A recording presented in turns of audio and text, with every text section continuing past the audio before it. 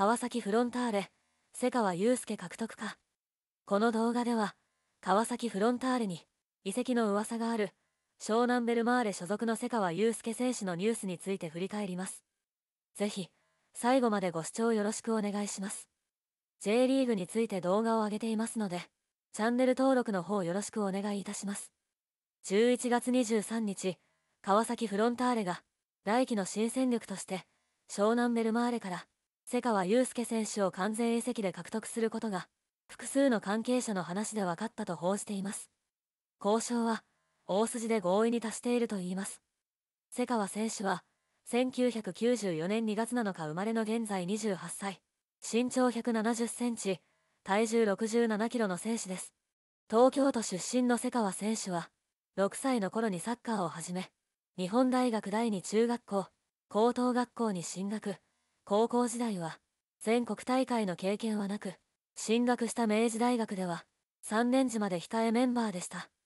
明治大学時代のチームメイトには同学年に鹿島アントラーズ所属の泉隆二選手がいました。4年時に努力が実を結び試合に出れるようになりザスパクサツ群馬からオファーが届きました。しかしすでに大手企業からの内定を受けていましたが、ずっと目標にしてきたプロの道に進みました。2016年にザスパクサツ群馬に入団し、前年ルーキーイヤーながら、チームの得点源となった江坂当選手の背番号26を受け継ぎ、開幕戦で先発出場。プロ1年目ながらリーグ戦42試合出場13得点11アシストという結果を残しました。42試合13得点は、江坂選手と全く同じ成績でした。ザスパクサツ群馬での活躍が評価され、2017年シーズンに大宮 RD ジャイ完全移籍。しかし、チームはリーグ戦最下位に終わってしまい、J2 降格になってしまいました。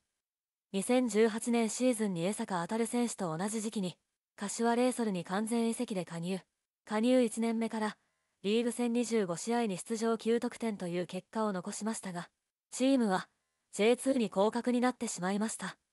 2019年シーズンは J2 で40試合に出場、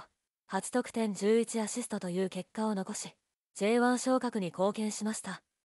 今シーズンは湘南ベルマーレに移籍、リーグ戦32試合に出場3得点1アシストという結果を残しています。講師のハードワークが持ち味で、前線だけでなく中盤もこなせ、